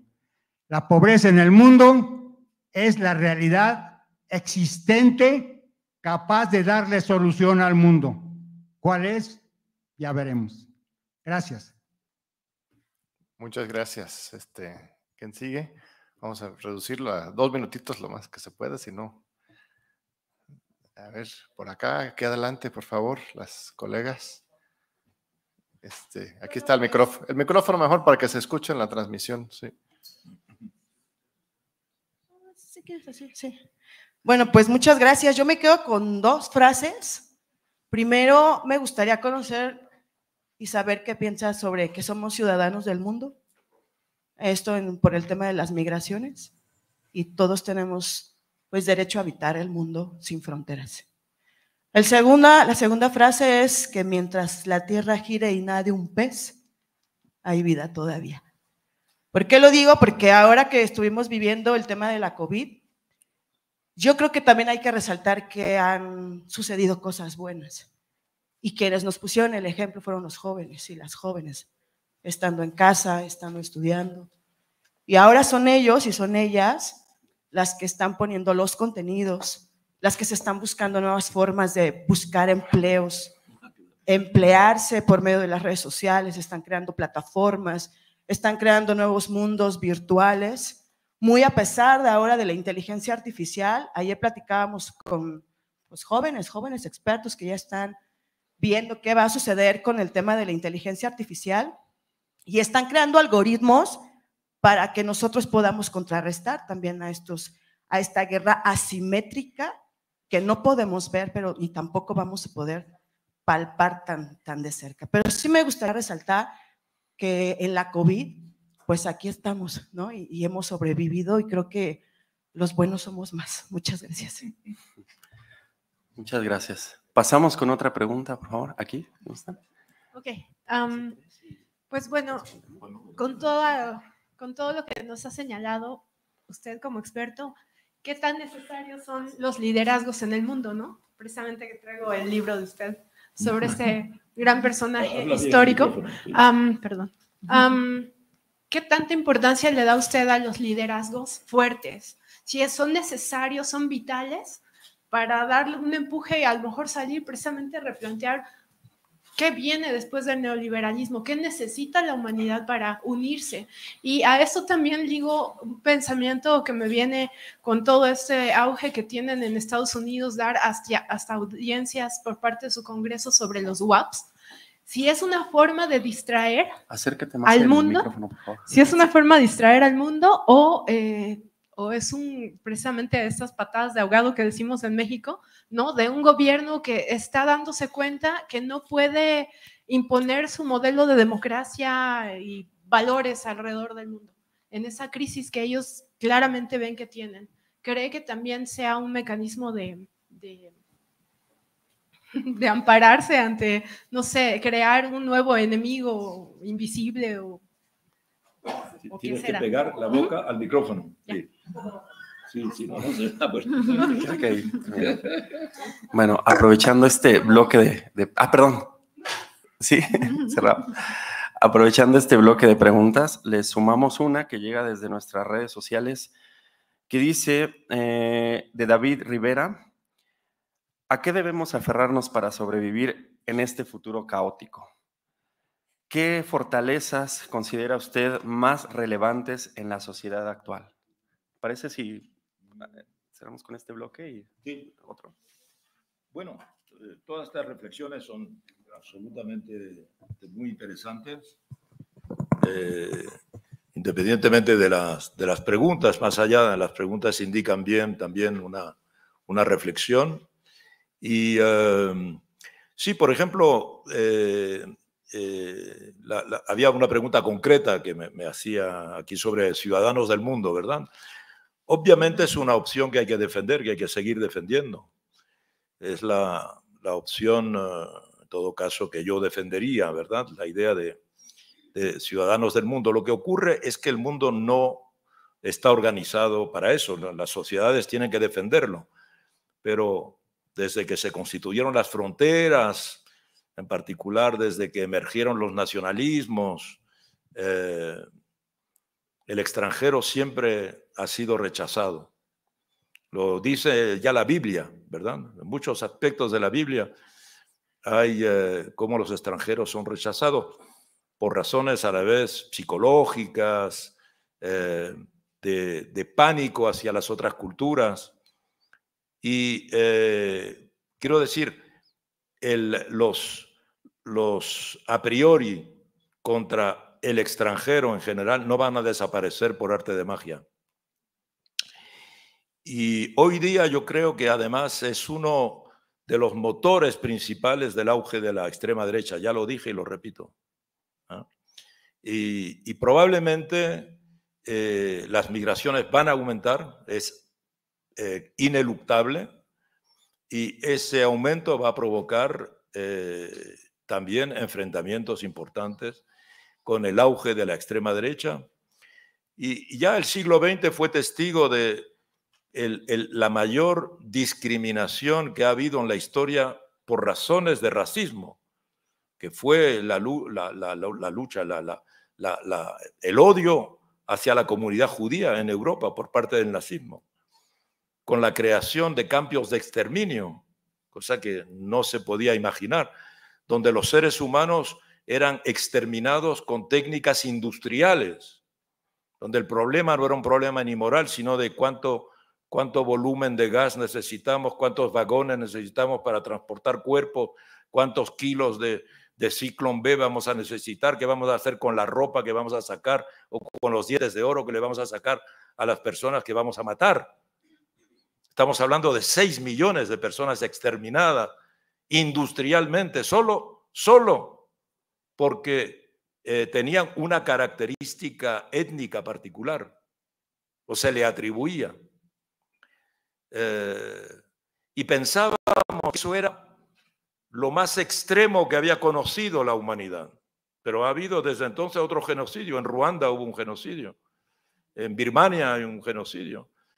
Eh, ha habido muchos genocidios y desgraciadamente es posible que, el, mundo este, eh, en vez de ir hacia una concepción de la ciudadanía del mundo, de la hermandad, de la fraternidad, fíjese que Jesús ya decía eso y edifica su teoría eh, cristiana en base al amor, Y no, eso no ha avanzado tanto, por muchos cristianos que haya en el mundo. Entonces digo, sí, es un objetivo, pero hay que estar preparado para a la vez luchar por ese objetivo y evitar que el aspecto más negativo pueda realizarse. Sí, y la otra pregunta también concreta es, eh, bueno, ¿qué hacer después del neoliberalismo, verdad? se planteaba aquí. ¿Qué viene después del eh, neoliberalismo? Claro, nosotros decimos el capitalismo está a la búsqueda de una teoría nueva para que el capitalismo tenga una ropa nueva. Antes del capitalismo, antes del neoliberalismo también había capitalismo. Solo que el capitalismo antes del neoliberalismo era lo que llamábamos el keynesianismo. Pero el keynesianismo llega un momento en los años 60 y 70 en el que se, eh, se detiene, no produce, no produce desde el punto de vista mismo del capitalismo y de la satisfacción social y aún en un conflicto muy grave político que es la Guerra Fría, no produce satisfacción social ni produce crecimiento. Es un periodo que se llamó, si hay economistas en la sala, la estagflación. Si había estagnación con inflación.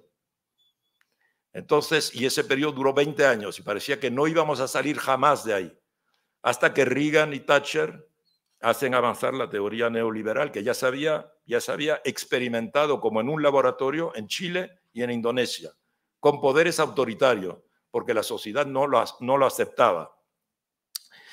La primera vez que se establece en las democracias es en el Reino Unido primero y en Estados Unidos. Y luego ocurre esto de que a, principios de los años 80 los partidos socialistas, cuando llegan al poder, eh, Blair, por ejemplo, en el Reino Unido, Felipe González en España, este, en Francia, también con Mitterrand, dicen el neoliberalismo no es una ideología, porque el mercado es el mercado.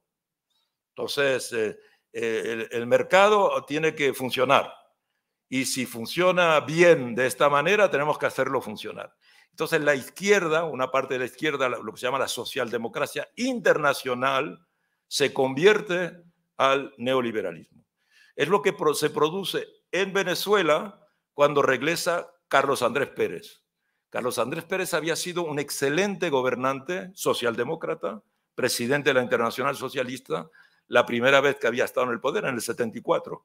Había nacionalizado el petróleo, desarrollado el país, pero el neoliberalismo no existía en ese momento.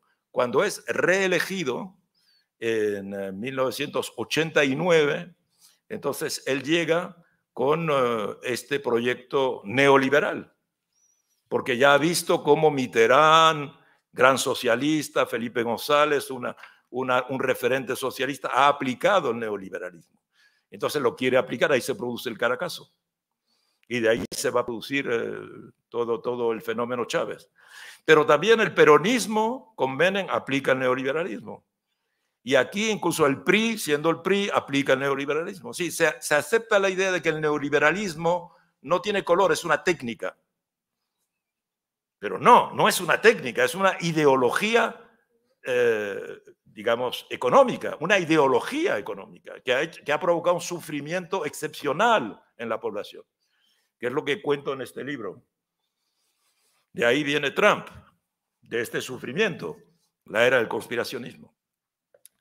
Entonces, hoy lo que digo es, el capitalismo está buscando un nuevo disfraz, porque se trata siempre de explotar, de ganar, pero ¿cómo hacer para aparecer que en realidad estamos siendo benefactores de la sociedad. Eso es lo que hace creer, ¿verdad? El empresariado, que todo lo que hago es para la sociedad. Además, en cuanto eh, dan eh, un cuadro para un museo, hacen toda una cuestión porque o han financiado una parte de un curso en una facultad, eh, como si fueran capaces de sustituir al Estado. Pero la respuesta que viene después del neoliberalismo es muy sencilla, el socialismo, evidentemente es el socialismo. Claro que el socialismo que haya que este, limpiarlo un poco, modernizarlo, cambiarlo, eh, seguro, evidente, para eso, para eso hay que pensar. Eso que decía yo esta mañana, Por eso la universidad debe producir teoría. Pues si no produce teoría, ¿qué vamos a explicar? El, socialismo de la Unión Soviética de 1917, si se derrumbó, colapsó, como dijo el caballero. Colapsó. Entonces eso no lo vamos a aplicar porque no funcionó. O si lo aplicamos, vamos a corregir lo que no funcionó. Pero, pero, pero sí, ¿por qué? Porque el socialismo es una teoría de la fraternidad. Es una, es, una, es una teoría del reparto, de la igualdad, eh, del respeto. Que se aplique mal, que haya este, eh, malos ejemplos, seguro, nadie es perfecto en esta tierra, ¿verdad?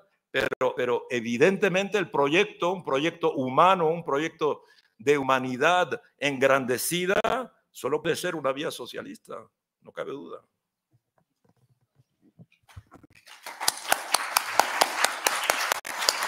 Un último. Muchísimas gracias, estimado Ignacio. Bueno, vamos a un último bloque de preguntas. Tenemos todavía una por las redes sociales.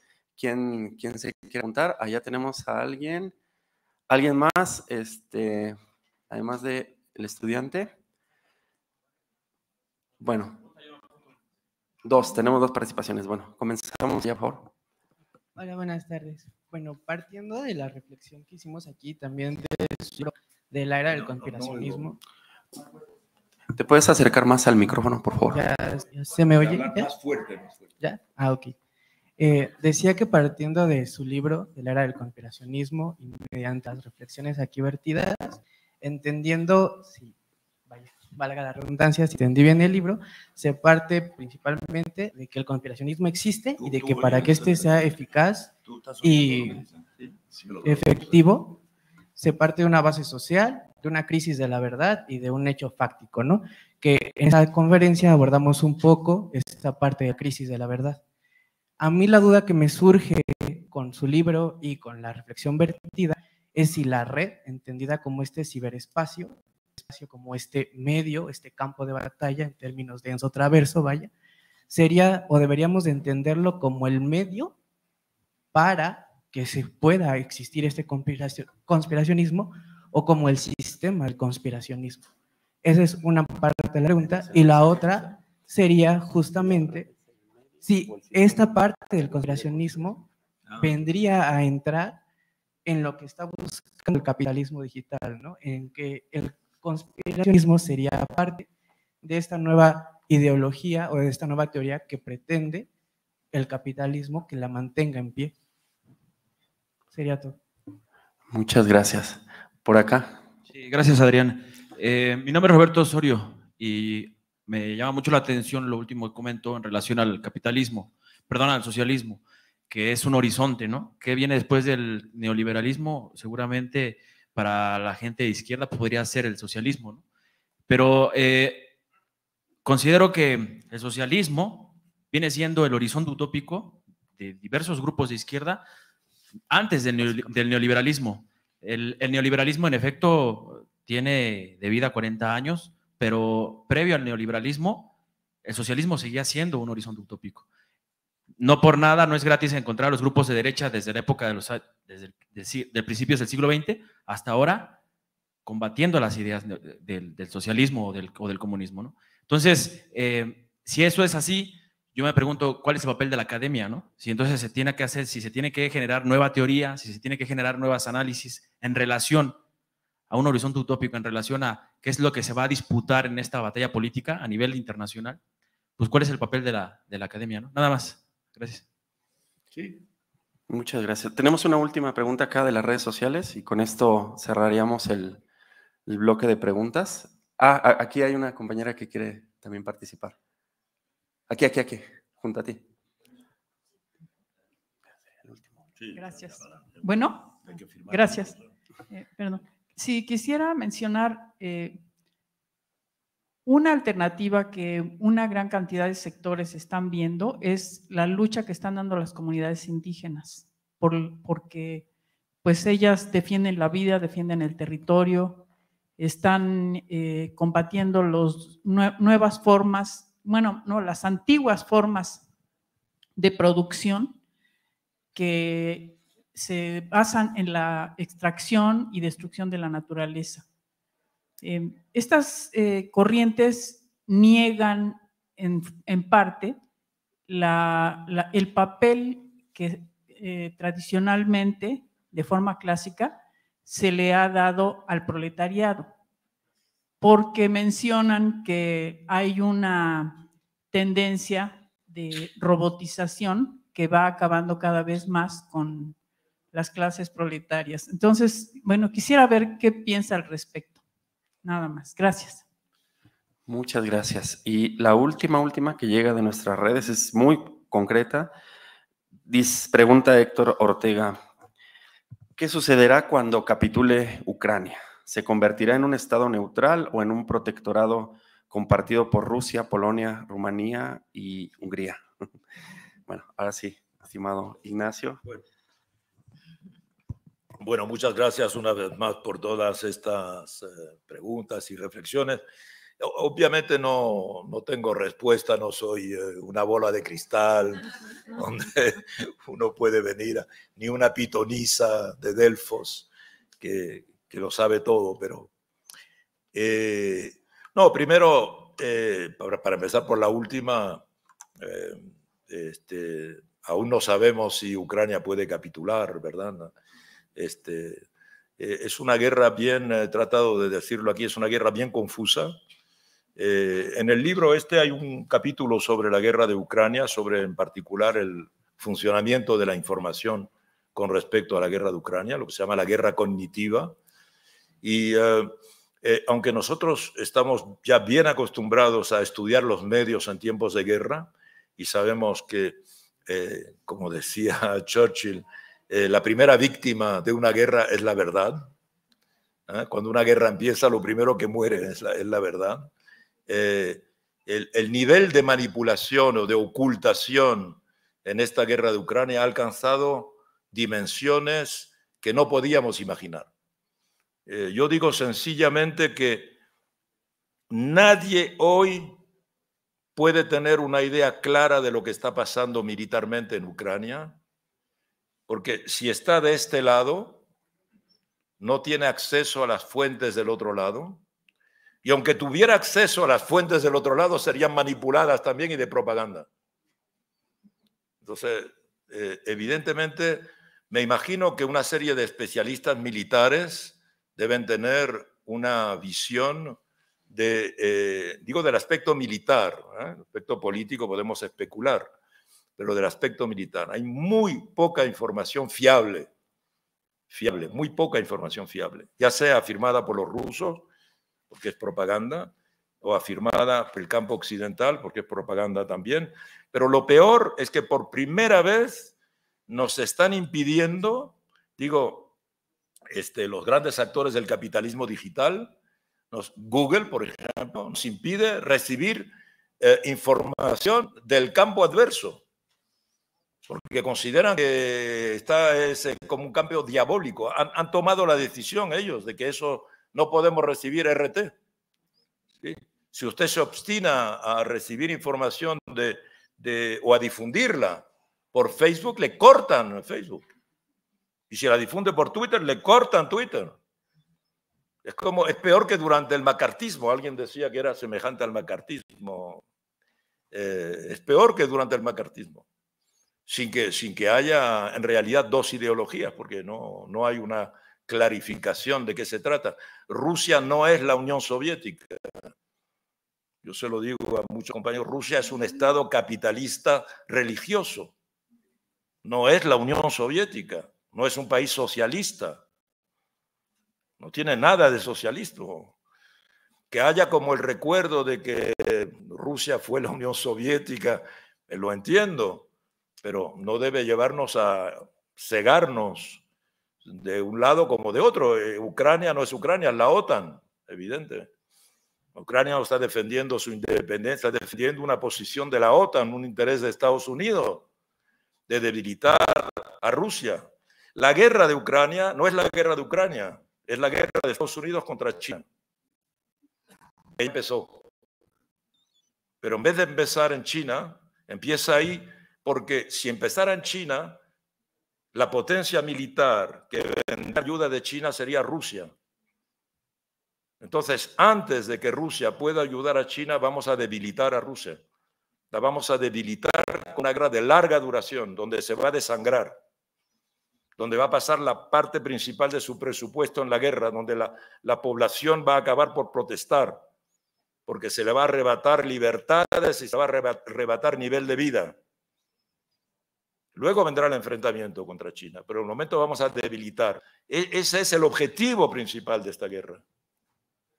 Pero no hay que idealizar a Rusia diciendo, no, el país eh, eh, de los soviets, no es el caso. Putin es, eh, digamos, ni siquiera quiero tratarlo dictador, es elegido con su sistema, etcétera, pero es un país capitalista cuya ideología oficial es el ortodoxismo, la iglesia ortodoxa. Eso no tiene nada de particularmente progresista. Entonces, eh, eh, la capitulación de Ucrania, no, no, por el momento no la veo eh, y no, no, creo que se produzca. Tampoco pienso que capitule Rusia, ¿verdad? lo peor que puede pasar es que esta guerra dure. Es el objetivo de Washington, que esta guerra dure. Cuanto más dure, más Europa tendrá miedo de lo que pueda pasar desde el punto de vista nuclear y será vasalla de Estados Unidos. ¿Qué es lo que está ocurriendo? Los Estados Unidos acaban de derrotar a Alemania por segunda vez. Porque le han quitado la posibilidad de tener una industria autónoma, que era la principal industria de Europa, una de las principales del mundo, gracias al petróleo barato ruso pero ahora ya no lo van a poder tener. Entonces toda Europa está ahora de rodillas delante de Estados Unidos, más derrotada que nunca. Esa es ya una consecuencia geopolítica fundamental de esta guerra. Si mañana se terminara la guerra, no le interesa a los Estados Unidos. Le interesa tener a Europa terrorizada con la amenaza de una eventual eh, intervención nuclear rusa. Entonces no va a haber capitulación, tranquilo. Sí, entonces eh, la, pregunta que hacían allí en el fondo era si, a propósito del conspiracionismo, ¿verdad? Si, si las redes servían para difundir o si las redes eran eh, parte del sistema conspiracionista. No, yo diría ni lo uno ni lo otro. No sé si leyó el libro. Sí. Sí, exacto.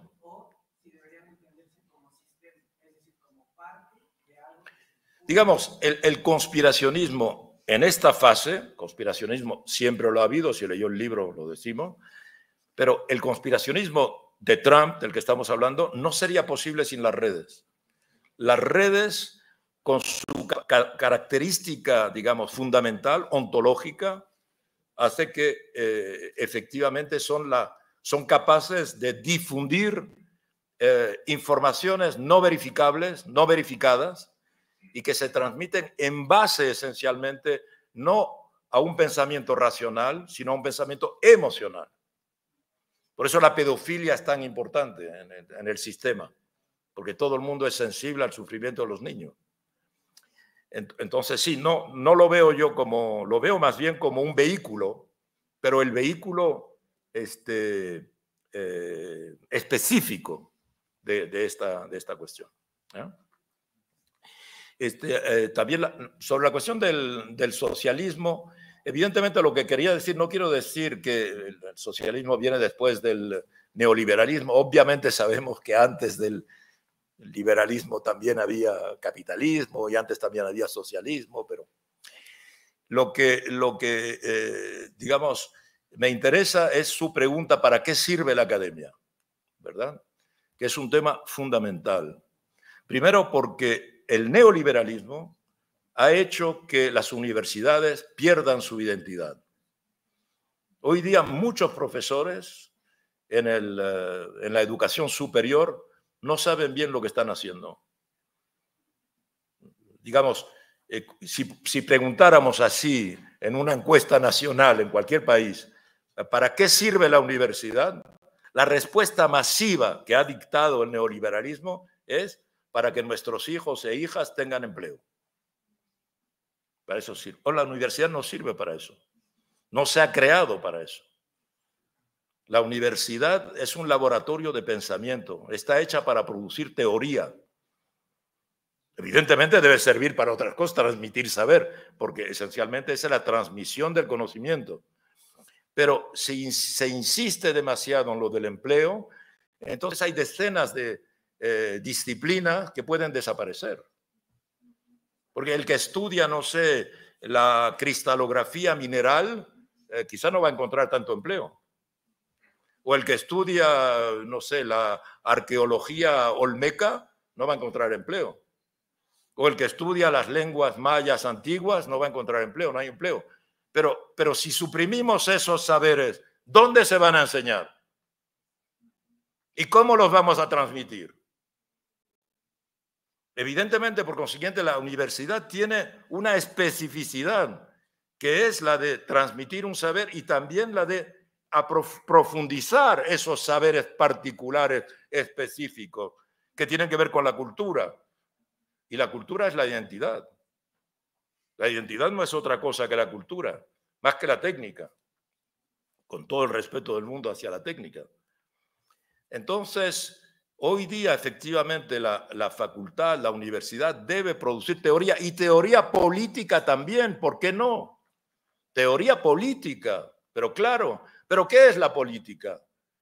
La política es, eh, eh, digamos, el, pilotaje de la sociedad es eh, eh, eh, la fórmula que va a permitir que una sociedad construya un funcionamiento de la felicidad. El objetivo de la política es la felicidad. Recuerden lo que decían los revolucionarios franceses, la felicidad es un concepto nuevo y haremos la revolución para la felicidad del pueblo. Es la felicidad. Pero cuando un pueblo está masivamente sufriendo, es porque la política no funciona. Porque el objetivo de la política es encontrar, repito, la fórmula que permita una coexistencia suficientemente lubricada para que todo el mundo sea feliz.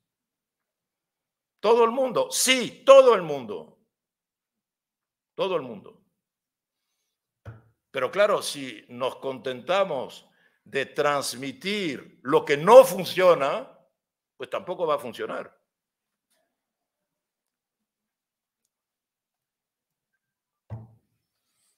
Otra idea optimista. Y con eso terminamos. Muchísimas gracias, estimado Ignacio. Qué brillante conferencia. Impactante cierre. Bueno, eh, queremos este, agradecerle a la doctora Carola García Calderón, directora de la Facultad de Ciencias Políticas y Sociales, por su importante presencia, por el honor de acompañarnos en esta conferencia.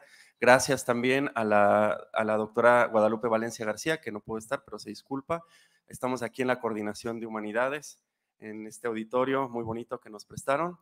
Y a nombre del Programa Universitario de Estudios sobre Democracia, Justicia y Sociedad que dirige el doctor John Ackerman, queremos agradecerle a Ignacio por, por este, esta generosidad, este tiempo que nos ha brindado, esta brillante charla que tuvimos el día de hoy. Gracias, Ignacio. Y bueno, y también a todas y todos ustedes por acompañarnos. Eh, el PUETS, como ustedes saben, somos un programa comprometido. Soñamos con la posibilidad de construir verdaderos procesos de democracia en México y en el mundo. Y ahí seguiremos este, dando la batalla. Síganos, por favor, en nuestras redes, acompáñenos a nuestras diferentes actividades. Muchas gracias a todas y todos por venir. Que tengan buena tarde. Ah, claro, aquí, aquí afuera está el siglo XXI. Va a haber firma de libros, nos dice Ignacio. Muy generosamente nos va a regalar aquí el autógrafo. Entonces pueden adquirirlo aquí saliendo. Muchas gracias, compañeros. Buena tarde.